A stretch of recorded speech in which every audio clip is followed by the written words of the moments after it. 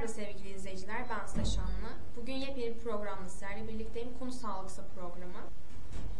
Bugün size e, sağlık ve spor arasında nasıl bir ilişki var, e, sağlık ve spor ne kadar önemli birbirleriyle bağdaşma konusunda birazcık size bundan bahsetmek isterim.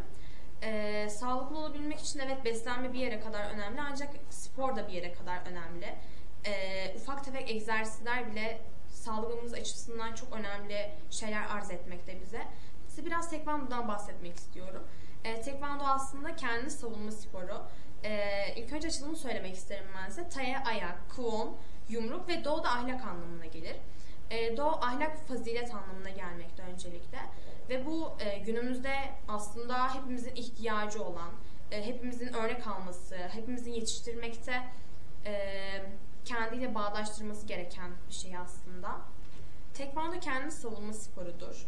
E, tekvando'da birkaç aslında demek istemiyorum ama birçok hareket var. Yaklaşık 12 tane teknikten oluşmakta tekvando. E, kurallarına göre oynanan, kurallarına göre müsabakalar yapılan, e, gerekli önlemleri, gerekli e, korumalıklarını giyip müsabakalara çıkılan bir spor aslında ve olimpik e, bir spor tekvando. Aslında hiçbir sporda e, bir yaş sınırlaması yoktur veya şu kiloda olmalısın, bu kadar uzunlukta olmalısın, şöyle olmalısın gibi e, şartlar koşmuyoruz biz kendimize. Ki tekvandoda da öyle.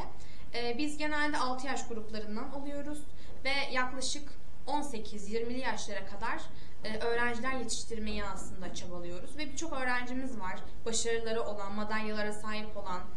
Bizi izlediğiniz için teşekkür ederiz.